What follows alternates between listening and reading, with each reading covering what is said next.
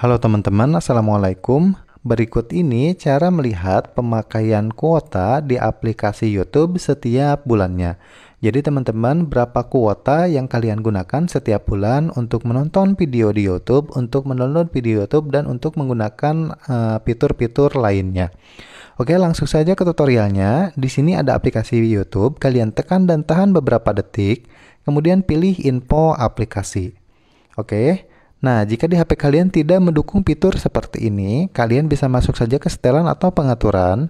Selanjutnya, scroll, pilih aplikasi atau kelola aplikasi. Selanjutnya, di sini kalian lihat semua aplikasi dan cari saja YouTube.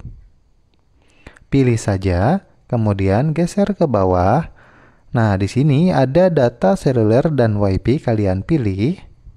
Lalu geser ke bawah Oke, di sini sudah ada ya keterangannya. Nah, ini penggunaan uh, kuota bulan ini sekitar 8,82 giga. Oke. Di latar uh, depan dan di latar belakang 52,81 MB. Nah, untuk totalnya ini ya ada total 8,87 giga.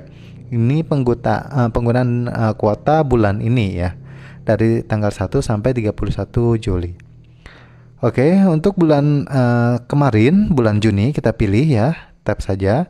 Nah, untuk kuota bulan Juni itu sekitar 20,55 giga.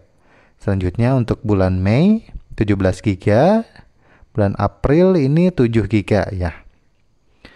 Oke, itu dia ya cara melihat penggunaan kuota kita di aplikasi YouTube. Mudah-mudahan videonya bermanfaat.